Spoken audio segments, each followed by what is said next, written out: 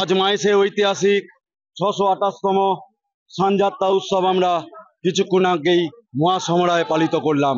রূপোর ছাগনি এবং রূপোর ঘোড়া দিয়ে ওনাকে আঠাশ ঘোড়া গঙ্গা জল এবং দেড় মন দুধ দিয়ে ওনাকে স্নান করালাম। আজকের দিনে বলা হয় জগন্নাথ দেবের জন্মদিন। আজকে হ্যাপি অ্যাপিয়ারেন্স ডে বলা হয় আমাদের। শুভ আবির্ভাব দিবস এবং চন্দন যাত্রার উদযাপন দিবস। আজকের দিনকে বলা হয়। আজকে সারা দিন ব্যাপী আমাদের পূজা অর্চনা চলবে। আমাদের সকাল থেকেই আমাদের অবকাশ বেশে ধারণ করানো হয়েছে এবং বিভিন্ন পূজা ক্রিয়াকর্ম অভিষেক স্নান সমস্ত রকম আমাদের পূজা ক্রিয়াকর্ম চলেছে এবং তার পরবর্তীকালে আমাদের আহ, আমরা আটাশ ঘোড়া গঙ্গা জল এবং দেড় মন দুধ দিয়ে ওনাকে স্নান করালাম। আজকে তারপরে আমরা প্রথমে পূজার আগে আমাদের অবকাশ বেশ ধারণ করানো হয়েছে। তারপরে আমরা এখন সিঙ্গার বেশে ধারণ করাচ্ছি। এই সিঙ্গার বেশের পর আমাদের ভোগ নিবেদন করতে হবে এবং তার পরবর্তীকালে আমরা ঠিক রাত সকাল নটার সময় আমরা গজবেশে ধারণ করাবো। আজকের দিনে গজবেশে মহাপ্রভুকে দর্শন করলে মুক্তি লাভ হয় এবং সকল পাপ থেকে আপনারা মুক্তি পাবেন। তাই জন্য আজকের দিনে গজবেশে মহাপ্রভুকে দর্শন করবেন। মুখ্য? এই মোক্ষ যোগটা আজ থেকে সাতচল্লিশ বছর পূর্বে উনিশশো সাতাত্তর সালে ঠিক সকাল সাড়ে ছটার মধ্যেই আমাদের মহাপ্রভু স্নান হয়েছিল এবং সেই দিনেই যে মোক্ষ যোগ পড়েছিল, তার জন্যই আজকের দিনেও আমরা মোক্ষ যোগ হিসেবে ধরে থাকছি। কারণ আজকের দিনও আবার অম্বুবাচী পড়ে যাচ্ছে। সকাল আটটা পঁয়তাল্লিশে আমাদের অম্বুবাচী পড়ছে।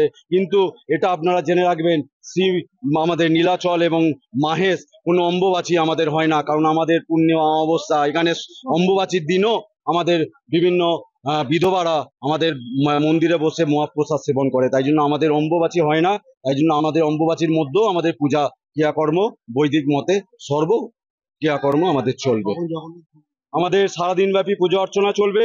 আমরা বিকেল আহ, চারটের সময় আমাদের বৈকালী ভোগ হবে এবং দুপুর বারোটার সময় আমাদের গজ ভোগ হবে। ওনাকে লাড্ডু ভোগ দেওয়া হবে জানো কারণ উনি গজব এসে আজকে ধারণ করছেন। এবং ঠিক সন্ধ্যা সাড়ে ছটা নাগাদ আমাদের এই স্থান বেদি থেকেই মহাপ্রভু উনি আহ, উনি দর্শন দেবেন এবং আজকে সাড়ে ছটার সময় সন্ধ্যা আরতি আমাদের স্থান বেদি থেকেই হবে এবং ওইখানেই আমাদের অন্নভোগ নিবেদন হবে এবং মায়েসের যে প্রসিদ্ধ শীতল ভোগ যেটা হাতিপায়া লুচি নামে প্রসিদ্ধ সেই হাতিপায়া লুচি এবং অন্নভোগ আমরা মহাপ্রভুর স্নান বেদিতেই সন্ধ্যেবেলায় আমরা মহাপ্রভুকে নিবেদন করব।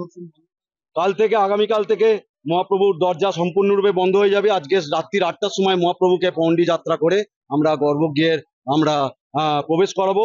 ওই তারপরেই রুদ্র দ্বারে মহাপ্রভু চলে যাবেন। আগামীকাল থেকে আমাদের অনবসর কাল বলা হবে। এই অনবসর কালে আমাদের কোনো কোলাহল চলবে না কাসর ঘণ্টা বাজবে না। আগামী পনেরোটা দিন আমাদের এই অনবসর কালে থাকবে। এই সময় বলা হয়, জগন্নাথ দেবের জ্বর এসেছে।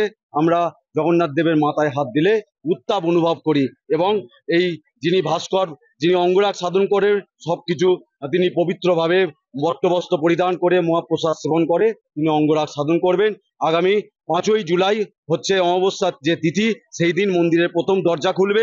সেই দিন নবযৌবন উৎসব হয়। আমাদের মায়েসে হয় নবযৌবন। আমাদের নব কলেবর হয় না।